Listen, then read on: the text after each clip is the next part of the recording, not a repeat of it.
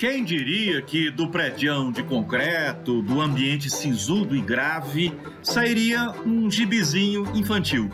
Pois foi daqui, do Tribunal de Justiça de Goiás, que brotaram sete coloridos super-heróis. Você vai conhecer a história da Camila Kaká, que vai lembrar a importância da educação. Ela tem uma memória de elefante e coragem para enfrentar qualquer coisa.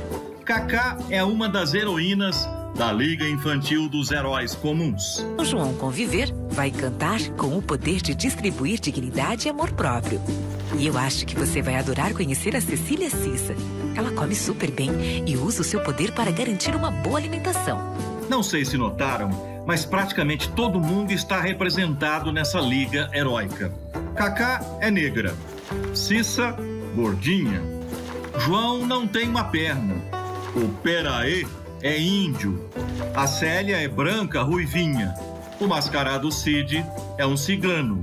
E a enfermeira, uma moreninha típica aqui de Goiás. Não foi por acaso.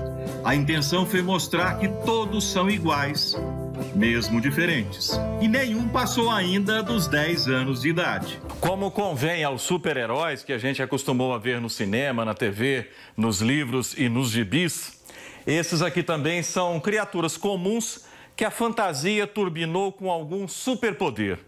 No caso deles, o poder de esparramar amor, alegria, solidariedade, justiça, tolerância. A grande importância é, de se trabalhar desde a infância é fazer com que exista mesmo essa construção de valores, né? É, quando nós chegamos à fase adulta, nós já temos algumas concepções pré-determinadas e elas com certeza se constituíram ao longo da vida. Eu creio que os super-heróis eles fazem parte da nossa construção de, de ideal de mundo mesmo, né? Quem não se lembra assim dos, dos super-heróis da sua infância, né? Eu me lembro até hoje da Liga da Justiça.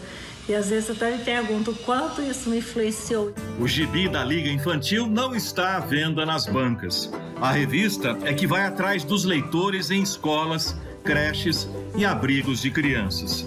E ainda vão junto os bonequinhos dos nossos heróis e uma ótima contadora de história. Nesse lugar era um lugar mágico. Sabe por quê? Porque era assim: quando a criança completasse sete anos, a mãe dela chamava ela e falava assim: Meu filho, vem cá. Você vai lá na estrada dos Andes que o anjinho vai te dar um nome.